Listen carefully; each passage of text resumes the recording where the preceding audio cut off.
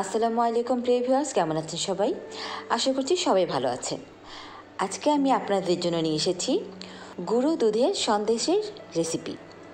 খুবই সহজ, ছটপটে হয়ে যায় এবং খুবই টেস্টি। তো শুরু করা যাক। প্রথমে আমি ফ্রাই প্যানে ওয়ান ফোর কাপ লিকুইড দুধ নিয়েছি। তারপর ওয়ান ফোর কাপ চিনি এবং দুই চা চামচ ঘি। এখন খুব ভালো করে এগুলো মিশিয়ে নিব। মেশানো হয়ে গেলে আমি এক কাপ গুঁড়ো দুধ অল্প অল্প করে দিয়ে ভালো করে মিশিয়ে নেব। একবারে দিতে যাব না, তাহলে দলা পেকে যেতে পারে। এই জন্য আমি এক কাপ গুঁড়ো দুধ অল্প অল্প করে মিশিয়ে নিলাম।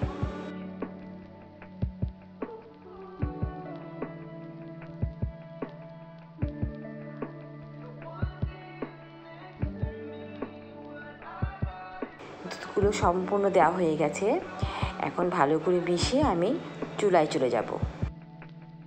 এই তো এখন আমি চুলাটা ধরিয়ে দিলাম। একটা কথা মনে রাখতে হবে সব কিছু ভালো করে মিশিয়ে তারপরেই চুলাটা অন করতে হবে। এখন আমি অনবরত নাড়তে থাকব।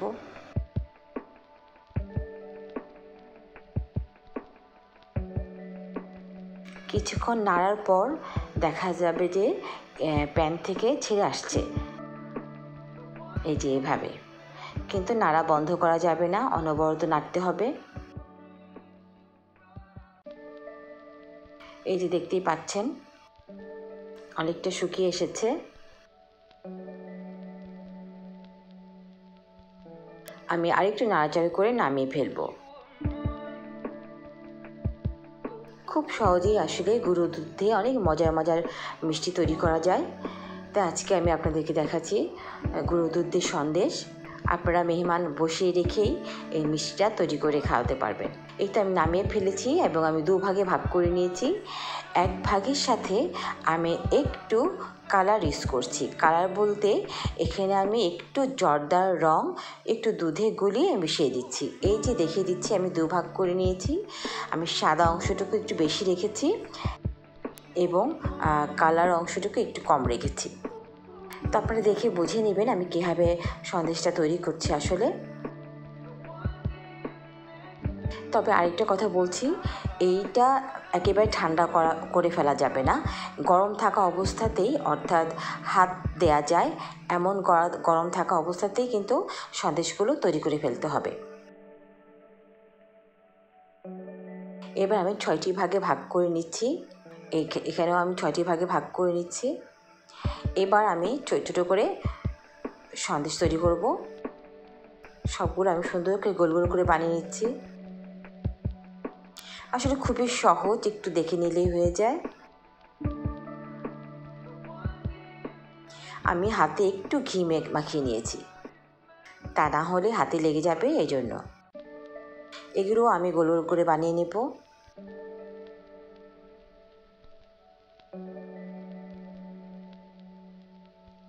এই তো আমার সবগুলো বানানো হয়ে গেছে।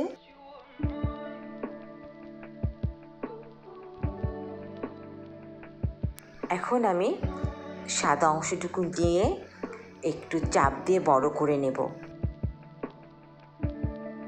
ঠিক এই যে এইভাবে। আর একটু বড় করে নিচ্ছি আমি। এইবার এর ভিতরে লাল অংশটুকু হ্যাঁ কালার যে দিয়েছি সেটা আমি মাঝখানে দিয়ে সাদা অংশটুকু দিয়ে আটকে দিব ভালো করে। ঠিক এইভাবে। নিশ্চয়ই দেখে নিচ্ছেন?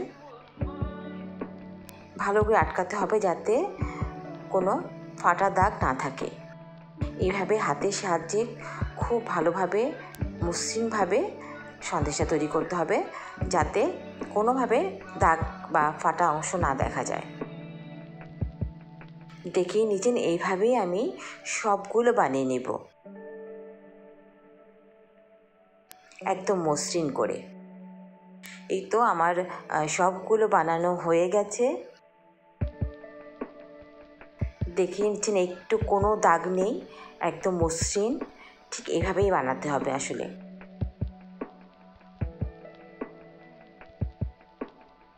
এই যে আমি একটু কাছ থেকে দেখাচ্ছি। আপনারা ইচ্ছে করলে এইভাবেই পরিবেশন করতে পারেন, অথবা মাঝখানে কেটে দুখণ্ড করেও নিতে পারেন। আমি একটা কেটে দেখাচ্ছি, এই যে এইভাবে। আপনারা আপনাদের পছন্দ মতো পরিবেশন করবেন। দেখতে খুবই সুন্দর লাগছে। এবং খেতে খুবই টেস্ট।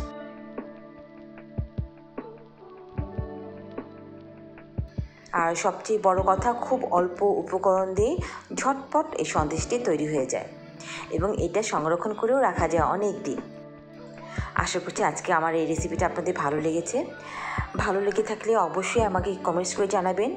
আর আমার চ্যানেলটিকে সাবস্ক্রাইব করে আমার পাশেই থাকবেন।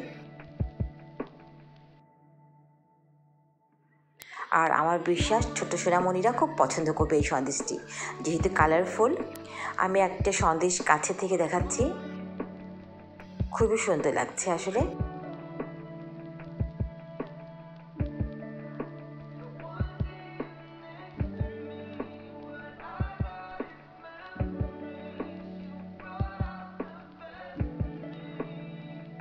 আমি একটু টেস্ট করেও দেখছি। দারুণ টেস্ট হয়েছে, খুবই মজা। আশা করছি আমার আজকে এই রেসিপিটা আপনাদের ভালো লেগেছে। তো আজ তাহলে এই পর্যন্তই। আপনারা সবাই ভালো থাকবেন, সুস্থ থাকবেন। আল্লাহ হাফেজ।